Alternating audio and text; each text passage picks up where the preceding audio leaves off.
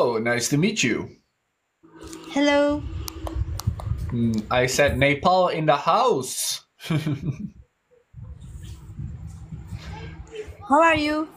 I am doing well. And how are you? How's your English?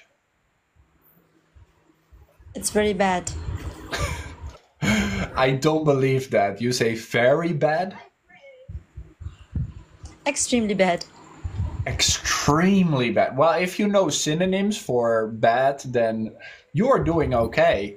Uh, what's what's going wrong? What's the bad part? So, actually, I am attending. I'm actually preparing for IELTS. You know, uh, on November 16.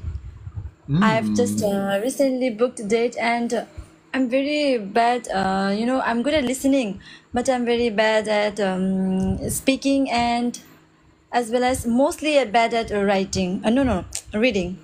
Reading, sure, it can be very tough. And have you done any more speaking practice recently, like talking to someone? Uh, just a day ago. And how does that feel? Does it feel like you can have a conversation?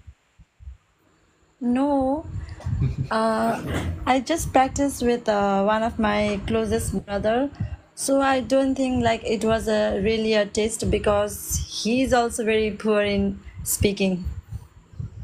Well, the number one thing I would say is you got the confidence because you call me in front of 600 people. That is very important. You know that after uh, it has been just a month that I have been attending the classes, as classes, so I found your podcast. I listen to your podcast every day.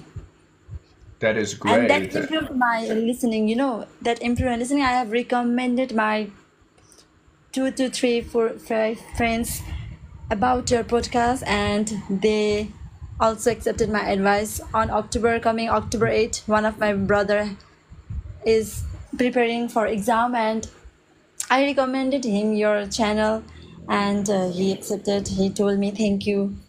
So Well, thank you for sharing it with your friends. I am sure they can benefit to, from learning with us together. yes, May I just say, your speaking is definitely not bad.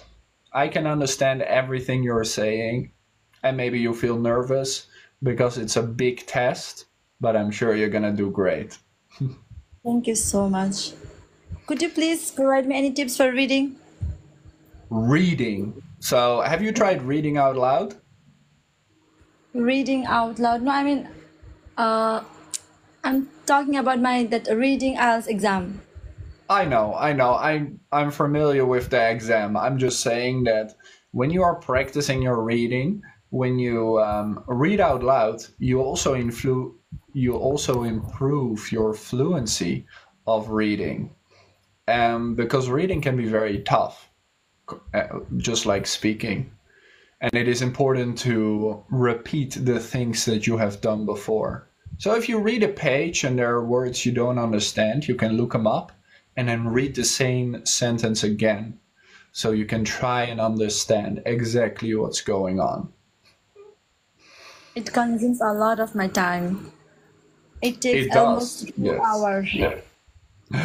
The best thing to do is uh, not practice two hours in a row because you're gonna get really tired of it and it's gonna feel really bad.